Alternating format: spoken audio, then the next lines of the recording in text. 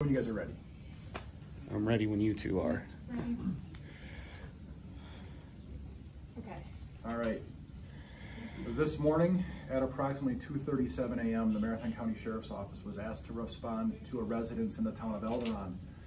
Initial reports were that a gentleman had been stabbed in the face and that uh, also during a scuffle that occurred, he fired his handgun.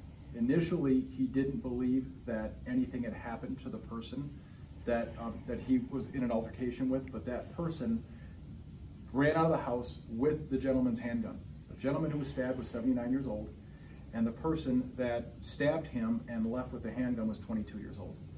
When deputies arrived on scene, they found the 22-year-old deceased in a car with a gunshot wound to the chest. At this time, we do not believe that there is any danger to the community. Um, we have detectives on scene and are actively investigating the scene right now.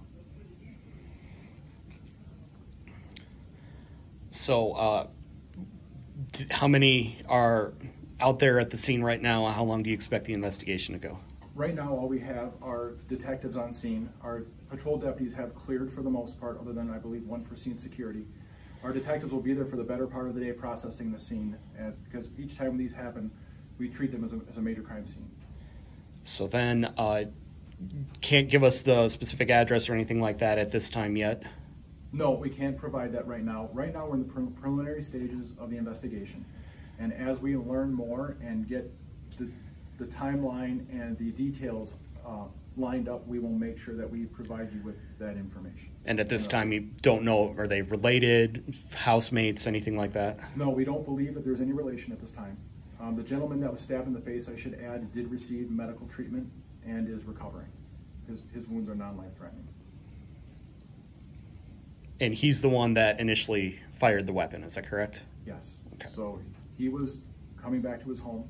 Um, he was assaulted, and during the, the altercation was stabbed in the face.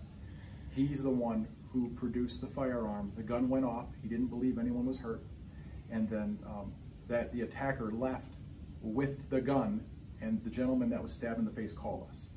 So that's kind of to clear it up and Sure. make sure that it's clear for you. And then we found the 22-year-old deceased in the vehicle at the scene. Do you know that you knew each other at all? We yet? don't, that's, it's preliminary right now, so we, at this time, we don't, we don't believe so, but we're working on that. So, home invasion situation, all that's on the table right now. It is, Okay. until we learn more. Were both weapons recovered in the vehicle? Uh, both weapons were recovered. Okay.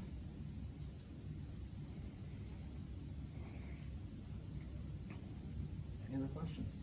Okay, that's all I have. That- That's all I got.